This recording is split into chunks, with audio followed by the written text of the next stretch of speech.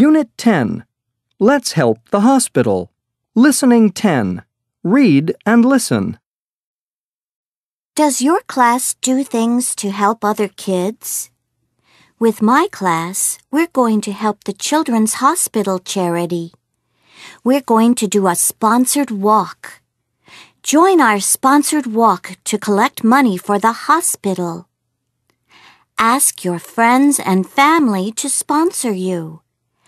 That means they must promise to give you some money for every mile of the walk. You give your sponsor money to the Children's Hospital charity. Do you give toys or money to charity?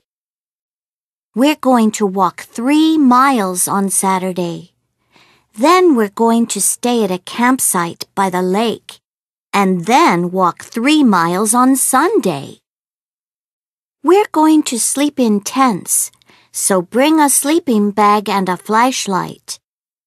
Wear walking boots and bring a rain jacket. Take a rain hat, a water bottle, and some chocolate. Together, we can collect lots of money. We're going to buy toys and books for the kids in the children's hospital.